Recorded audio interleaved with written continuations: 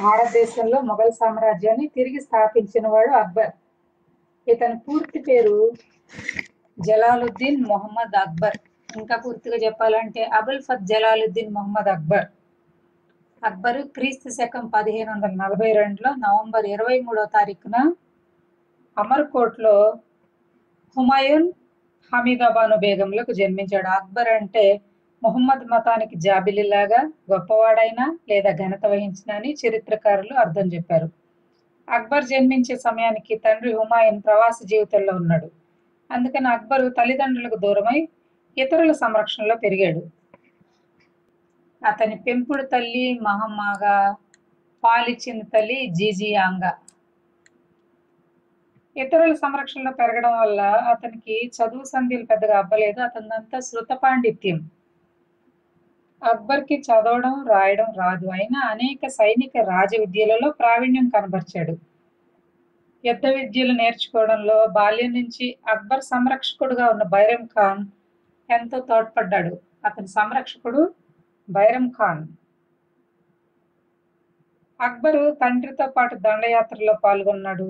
తన సైనిక సామర్థ్యాన్ని రుజువు చేసుకోవడమే కాకుండా గజనీ గవర్నర్గా హిస్సార్ ఫిరోజా జాగీర్దార్గా పంజాబ్ గవర్నర్గా కూడా పనిచేశాడు. అనేక విధాలుగా పరిపాలన అనుభవాన్ని గడించాడు. తండ్రి చనిపోయిన తర్వాత బైరం ఖాన్ ఆధ్వర్యంలోనే పంజాబ్లోని గురుదాస్పూర్ జిల్లా కలనేరు దగ్గర ఫిబ్రవరి పద్నాలుగు పదిహేను వందల యాభై ఆరులో అక్బర్కు పట్టాభిషేకం జరిగింది.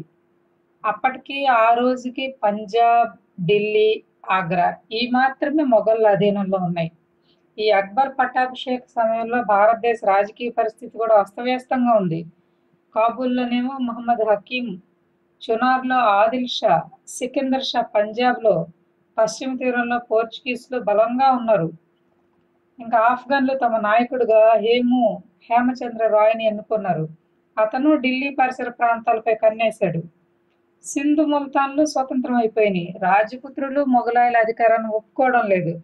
దక్షిణంలో విజయనగర సామ్రాజ్యం బలంగా ఉంది. ఇలా చుట్టూ శత్రువులని బలమైన రాజ్యాల్ని కలిగిన అక్బరు బైరం ఖాన్ అండదండలతో మొదట హేమోని ప్రమాదకరమైన శక్తిగా భావించి అతన్ని దండెత్తి రెండవ పానిపట్టు యుద్ధంలో అతను ఓడించాడు.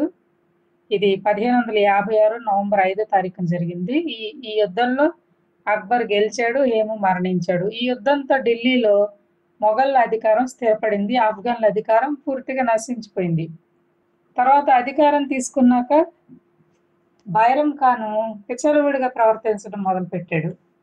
అందుకని బైరం ఖాన్ చర్యలను సహించక అక్బర్ అతన్ని మక్కా యాత్రకు వెళ్ళవలసిందిగా ఆదేశించాడు. ఆ క్రమంలోనే అతను అహ్మదాబాద్ దగ్గర ఒక పఠాన్ చేతిలో మరణించాడు. తర్వాత పెంపుడు తల్లి మహమ్మాగా జీజీ అంగా వీళ్ళు కూడా అక్బర్ పరిపాలనని ప్రభావితం చేయడానికి చూశారు. అంటే అతను సింహాసనానికి వచ్చేటప్పటికి అతని వయసు పదమూడు సంవత్సరాల నాలుగు నెలలు. ఒక పద్నాలుగు సంవత్సరాల పిల్లవాడు. కాబట్టి చుట్టూ ఉన్న స్వార్థపరులు పెద్దవాళ్ళంతా అతన్ని తమ ప్రభావంలోకి తీసుకోవాలని చూశారు. అయితే వీటినన్నిటినీ కూడా దిగ్విజయంగా అక్బర్ ఎదుర్కొని గెలిచి నిలబడ్డాడు.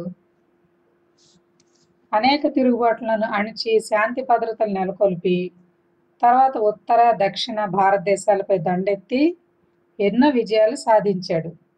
ఇతని తర్వాత ఇతని వారసుడు సలీం షేక్ సలీం చిస్తి జ్ఞాపకార్థం గౌరవార్థం తన కుమారుడికి సలీం అని పేరు పెట్టుకున్నాడు. ఇతనే తర్వాత జహంగీర్ అనే పేరుతో అక్బర్ వారసుడిగా మొఘల్ సింహాసనాన్ని అధిష్ఠించాడు. ఈ జహంగీర్ తల్లి జ్యోద్బాయ్ ఈవిడికి మరియం ఉజ్జమాన్ అనే పేరు కూడా ఉంది. అక్బర్ గురువు అబ్దుల్ లతీఫ్ ఇతను సులేకుల్ ప్రపంచ శాంతి సిద్ధాంతాన్ని అక్బర్కి బోధించాడు. పదిహేను వందల యాభై ఆరు నుంచి పదహారు వందల ఐదు వరకు మొఘల్ సామ్రాజ్యాన్ని పరిపాలించిన అక్బరు పదహారు వందల ఐదులో మరణించాడు. రాజు నిరంతరం దండయాత్రల ద్వారా రాజ్యాన్ని విస్తరించుకోవాలని అక్బర్ విశ్వసించేవాడు. అందుకని తన జీవితంలో అనేక దండయాత్రలు చేశాడు అతను. అక్బర్ చేసిన యుద్ధాల్లో ప్రధానమైనది మొదటిది పదిహేను వందల యాభై ఆరు రెండో పాన్పట్ యుద్ధం. నవంబర్ ఐదో తారీఖున జరిగింది అది. పదిహేను వందల యాభై ఆరు నవంబర్ ఐదో తారీఖున జరిగిన రెండవ పానిపట్టి యుద్ధం అక్బర్కి హేముకి మధ్య జరిగింది. హేము అప్పటికి ఢిల్లీ సింహాసనాన్ని ఆక్రమించి ఉన్నాడు. అతను ఆఫ్ఘన్ల నాయకుడుగా ఉన్నాడు. హేము పూర్తి పేరు హేమచంద్ర రాయ్. విక్రమాదిత్య అనే బిరుదు కూడా ఉంది ఇతనికి. ఈ యుద్ధం గెలిచిన తర్వాత అక్బరు బైరం ఖాన్కి గాజీ అనే బిరుదు ఇచ్చాడు. బైరం ఖాన్ గురించి ఇంతకు ముందు కూడా మనం మాట్లాడుకున్నాం. అక్బర్ చిన్న పిల్లవాడు కావడం వల్ల నాలుగు సంవత్సరాల పాటు చక్రవర్తి సంరక్షకుడిగా ప్రధానమంత్రిగా బైరం ఖాన్ రాజ్యంలో అత్యున్నత అధికారం చెలాయించాడు. ఈ కాలంలో బైరం ఖాన్ గ్వాలియర్ అజ్మీర్ జునాపూర్లను ఆక్రమించాడు. అతనికి అహంకారం పెరిగిపోయింది. తర్వాత పదిహేను వందల అరవైలో అక్బర్ బైరం ఖాన్ ప్రధానమంత్రి పదవి నుంచి తీసేశాడు. షేక్ పీర్ మొహమ్మద్ని అక్బర్ తన సంరక్షకుడిగా నియమించుకున్నాడు. పీర్ మొహమ్మద్ని అక్బర్ తన సంరక్షకుడిగా నియమించుకున్నాడు. బైరం ఖాన్ తిరుగుబాటు చేశాడు. తర్వాత అక్బర్ అతన్ని మక్కా యాత్రకు వెళ్ళమని చాయిస్ ఇచ్చాడు. అది తీసుకుని అతను మక్కా వెళ్తుంటే మార్గ మధ్యంలో అహ్మదాబాద్ దగ్గర హాజీ ఖాన్ మేవాతి అనే అతని చేత హత్య చేయబడ్డాడు. ఒక పఠాన్ చేతిలో హత్యకు గురయ్యాడు బై బైరం ఖాన్ గాజీ. ఈ పఠాను హేముకి అనుయాయుడిగా ఉండేవాడు. తర్వాత పదిహేను వందల అరవై నుంచి అరవై రెండు వరకు పరదా ప్రభుత్వం నడిచింది. ఈ పరదా ప్రభుత్వాన్ని అక్బర్ క్రమంగా భగ్నం చేశాడు. బైరం ఖాన్ సంరక్షణ నుంచి పరదా ప్రభుత్వం నుంచి స్వేచ్ఛ పొందిన అక్బరు దండయాత్రలు చేశాడు చాలా. అందులో మొట్టమొదటిది పదిహేను వందల అరవైలో బీహార్ని పాలిస్తున్న షేర్ ఆఫ్ఘన్ మీద చేసిన దండయాత్ర. షేర్ ఆఫ్ఘన్ ఓడించాడు. బీహార్ని మొఘల్ సామ్రాజ్యంలో విలీనం చేశాడు. తర్వాత పదిహేను వందల అరవై ఒకటిలో మాళవాపై దండయాత్ర చేశాడు. బాజ్ బహదూర్ని ఓడించాడు. పదిహేను వందల అరవై నాలుగులో గోండ్వానా రాజు వీరనారాయణ చిన్నపిల్లవాడు అతని తల్లి రాణి దుర్గావతి రాజపాలన చేస్తూ ఉండేది. అక్బరు ఆసిఫ్ ఖాన్ అనే అతని నాయకత్వంలో సైన్యాన్ని పంపించి ఆ రాజ్యాన్ని జయించాడు.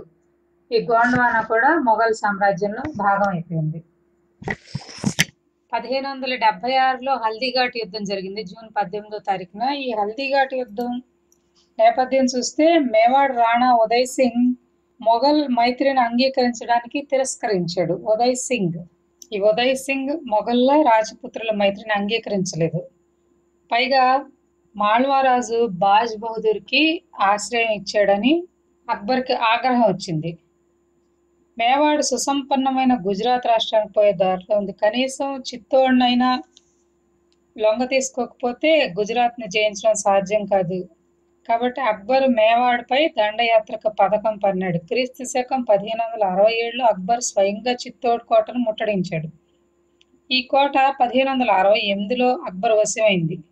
చిత్తోడ్ విజయం వల్ల మేవార్ మైదానాలు మొఘళ్ళ పాలనలోకి వచ్చాయి. గుజరాత్పై దండయాత్రకు అవరోధం తొలగిపోయింది.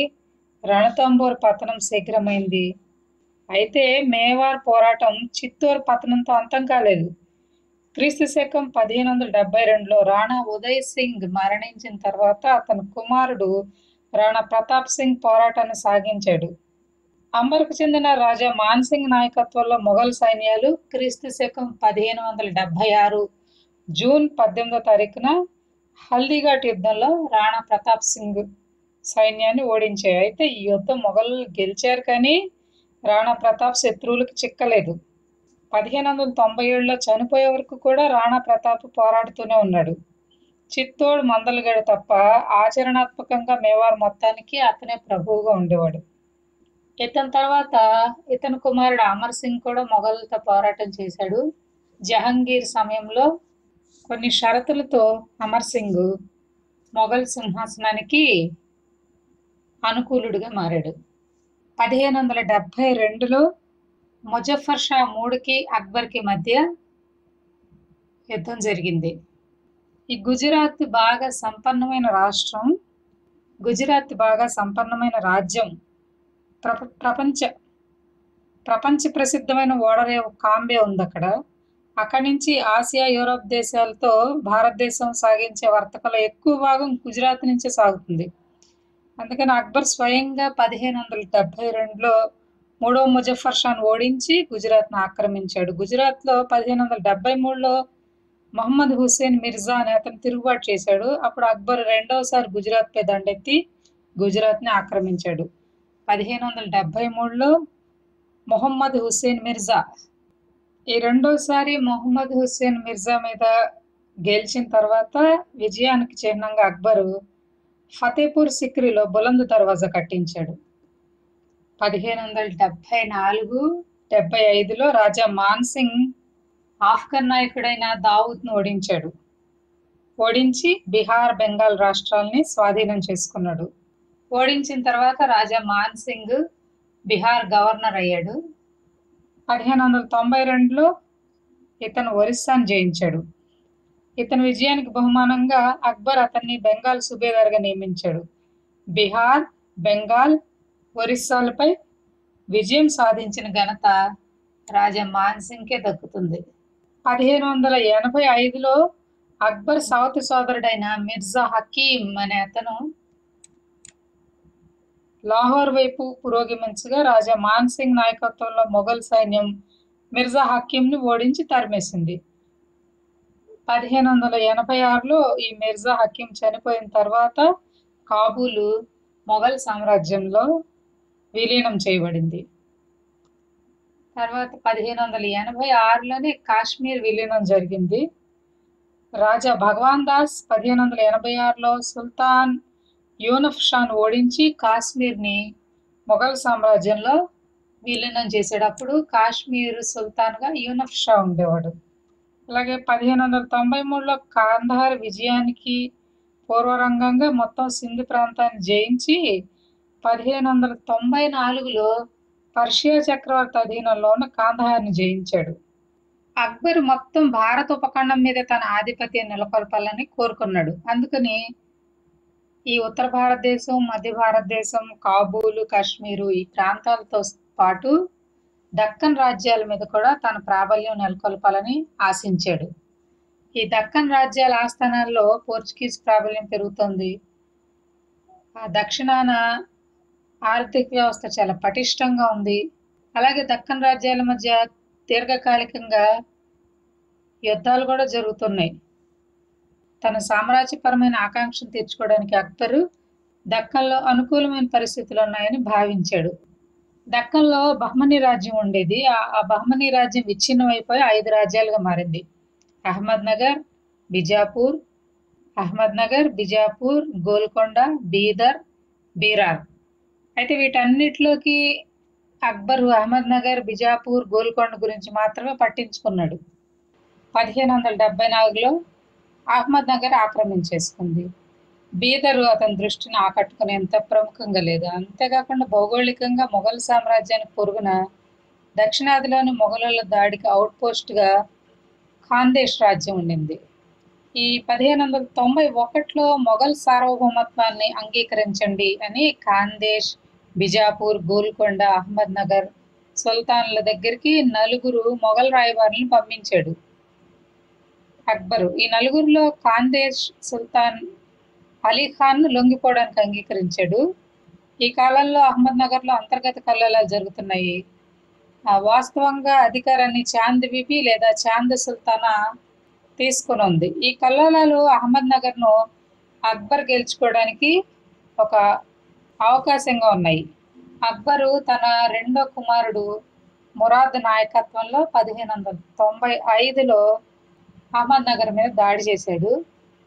చాంద్ బీవి లేదా చాంద్ సుల్తానా బీరార్ని మొఘలులకి దత్తం చేసింది. అయితే ఈ విధంగా కుదుర్చుకున్న శాంతి ఒక తాత్కాలిక యుద్ధ విరమణ ఒప్పందం తేలింది. పదిహేను వందల తొంభై ఏడు తొంభై తొమ్మిది సంవత్సరాల్లో మొఘల్స్ మళ్ళీ అహ్మద్ నగర్పై దాడి చేశారు. ఈసారి అక్బర్ స్వయంగా అహ్మద్ నగర్ ముట్టడిని పర్యవేక్షించాడు. దీని ఫలితంగా అహ్మద్ నగర్ రాజధాని నగరంతో పాటు పరిసర భూభాగాలు కూడా మొఘల్ అదుపులోకి వచ్చేసాయి.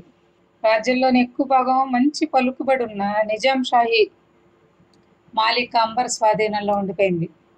కానీ చివరికి ఖాందేశ్ బీరారులతో పాటు అహ్మద్ నగర్ ప్రాంతాన్ని కూడా కలిపి ఆ మొత్తం ప్రాంతాన్ని తమ స్వాధీనం చేసుకుని ఒక రాజప్రతినిధిని నియమించారు. ఆ రాజప్రతినిధి ధనియాల్ యువరాజు ధనియాల్ని నియమించి పదహారు వందల ఒకటిలో అసీర్గఢ్ ముట్టడి కూడా జరిగింది. ఈ అక్బర్ జీవితంలో చిట్ట చివరి ముట్టడి అసీర్గఢ్ ముట్టడి. దీని తర్వాత పదహారు వందల ఐదులో అతను చనిపోయాడు. ఈ సుదీర్ఘంగా దండయాత్రలు జరుపుతున్న అక్బరు తన పరిపాలనా కాలంలో ఎన్నో ప్రజాహిత చర్యలు తీసుకున్నాడు. ఆదర్శవంతమైన మత విధానాన్ని అనుసరించాడు. అక్బర్ పేరు చరిత్రలో ప్రత్యేకంగా రాయబడి ఉందంటే దానికి కారణం అతను గెలిచిన భూభాగాలు కాదు. అతని పరిపాలనా విధానం ప్రజల ఎడల అతను చూపించిన శ్రద్ధ వివిధ మతాల పౌరుల ఎడల అతను చూపించిన సమానత్వం వీటి నుంచి అక్బర్ చరిత్రలో గొప్పవాడయ్యాడు. పదిహేను వందల అరవై రెండులో అతని బానిసత్వాన్ని రద్దు చేశాడు. అంతకుముందు యుద్ధ కాలంలో పోరాటం చేయని హిందువుల్ని పోరాటం చేస్తున్న వారి కుటుంబ సభ్యుల్ని బందీలుగా పట్టుకొని బానిసలుగా చేసేవారు. తర్వాత వాళ్ళని ఇస్లాంలోకి మార్చేందుకు ప్రయత్నించేవారు. అయితే అక్బరు పదిహేను వందల అరవై రెండులో ఈ బానిసత్వాన్ని నిషేధించాడు. తర్వాత సంవత్సరం ఆయన యాత్రా పన్నును రద్దు చేశాడు పదిహేను వందల అరవై మూడులో. ఇంకొకటి చాలా ముఖ్యంగా మనం చెప్పుకునేది పదిహేను వందల అరవై నాలుగులో ఆయన చేసిన జిజియా పన్ను రద్దు గురించి. జిజియా పన్ను అంటే ముస్లిం రాజ్యంలో నివసించే ముస్లిమేతరులు కట్టే ఒక మతపరమైన పన్ను. తన రాజ్యంలో మత వివక్షకు తావులేదని పౌరులందరూ సమానమని సూచించడానికి పదిహేను వందల అరవై నాలుగులో అక్బర్ జిజియా పన్నును రద్దు చేశాడు. తన సామ్రాజ్య కార్యాలయ ద్వారాల్ని హిందువులకు ముస్లింలకి కూడా సమానంగా తెరిచాడు. ఆయన హిందూ మనోభావాల పట్ల గొప్ప గౌరవం ప్రకటించాడు. పదిహేను వందల డెబ్బై ఐదులో అతను ఇబాదత్ ఖానాను నిర్మించాడు. ఇబాదత్ ఖానా అనేదాన్ని మతపరమైన చర్చలు జరపడానికి ఫతేపూర్ సిక్రీ దగ్గర నిర్మించాడు. ఇబాదత్ ఖానా అంటే ప్రార్థన మందిరం అది. మొదటగా ఇక్కడ చర్చిలు ముస్లింలకు మాత్రమే పరిమితమై ఉండేవి. అయితే ఈ ఈ చర్చిల్లో తరచుగా సున్నీల అసహనం సున్నీ షియా భేదాభిప్రాయాలు ఇవన్నీ గమనించి ఒక మతంలో కూడా వేరువేరు శాఖల మధ్య భేదాభిప్రాయాలు ఉన్నాయని గ్రహించాడు.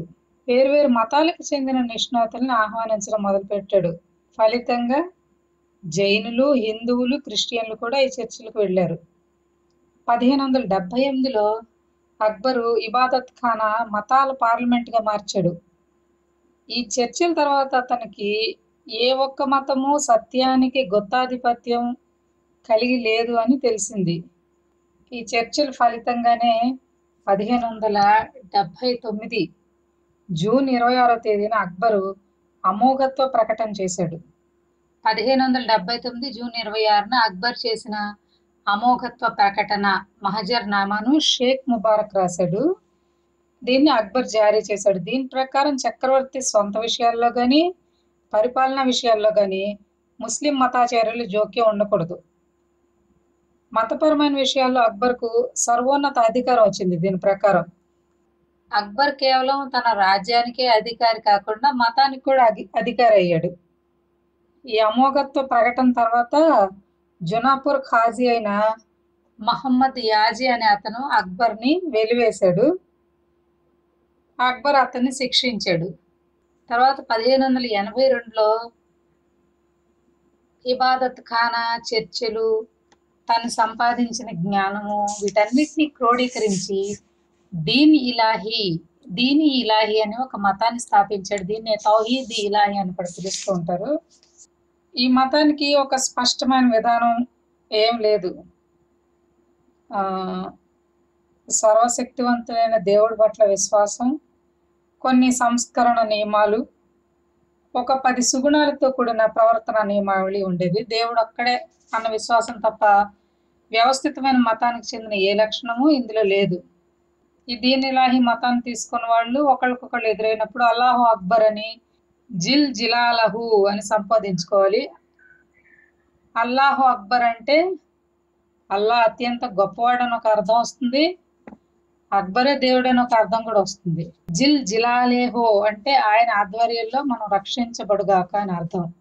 ఈ మతంలో చేరిన ప్రముఖులు బీర్బల్ అబుల్ ఫజల్. అయితే మొత్తం మీద ఈ మతంలో ఒక పద్దెనిమిది మంది దాకా చేరారని తెలుస్తుంది. అంతకుమించి అక్బరు ప్రభువుగా ఉన్నప్పటికీ కూడా తన మతాన్ని ప్రజల మీద రుద్దాలని ప్రయత్నించలేదు ఎవరిని బలవంతం చేయలేదు. అప్పటి ప్రభువులతో పోలిస్తే అక్బరు చాలా ఉదార భావాలు కలవాడు. అక్బరు హిందువుల ఉత్సవాల్లో పాల్గొనేవాడు. శిశు బలి నిషేధించాడు. ఆ రోజుల్లో మనుషుల్ని బలివ్వడం శిశువుల్ని బలివ్వడం లాంటి భయంకరమైన కర్మకాండలు ఉండేవి. బాల్య వివాహాలు నిషేధించాడు. వితంతు పునర్వివాహ చట్టం తెచ్చాడు. అలాగే సతీ సహగమనాన్ని అత్యంత క్రూరమైన సతీ సహగమన ఆచారాన్ని నిషేధించడానికి కూడా ప్రయత్నించాడు. జనరల్గా మనం సతీ సాగమన నిషేధం అనగానే ఆంగ్లేయుడైన విలియం బెంటిక్ గురించి లేదా రాజా రామ్మోహన్ రాయ్ గురించి మాట్లాడతాం కానీ ముస్లిం పరిపాలకులు ఈ అమానుషమైన ఆచారాన్ని మాన్పించడానికి అంతకు ముందు నుంచే కృషి చేశారు. అలాగే హిందువుల మనోభావాల్ని గౌరవిస్తూ జైనుల మనోభావాలను గౌరవిస్తూ కొన్ని నిర్ణీత దినాల్లో జంతువధని నిషేధించాడు. ఫతేపూర్ సిక్రీలో బాలికల కొరకు పాఠశాల స్థాపించాడంట. బాలికా విద్య ప్రాధాన్యత గుర్తించిన గొప్ప ప్రభు ఎవరు అంటే మనం అక్బర్ పేరు చెప్పేసేయచ్చు. సో ఈ ద గ్రేట్ జలాలుద్దీన్ మహమ్మద్ అక్బరు పదహారు వందల ఐదవ సంవత్సరంలో డీసెంట్రీ కారణం చేత మరణించాడు. అక్బర్ తర్వాత అతని వారసుడు సలీం అయితే అక్బరు అతన్ని ప్రేమగా షేక్ బాబా అని పిలిచేవాడంట. ఇతని తల్లి జ్యోతిబాయ్ ఆమెకి మరియం ఉజ్జమాన్ అని పేరు కూడా ఉంది. ఎన్నో ప్రజాహిత కార్యక్రమాలు దానికి మించిన దండయాత్రలు అక్బర్ని చరిత్రలో ప్రత్యేకంగా నిలబెట్టాయి. అతని రాజ్యం తూర్పున బెంగాల్ నుంచి పశ్చిమాన కాంధార్ వరకు ఉత్తరాన కాశ్మీర్ నుంచి దక్షిణాన అహ్మద్ నగర్ వరకు వ్యాపించి ఉంది.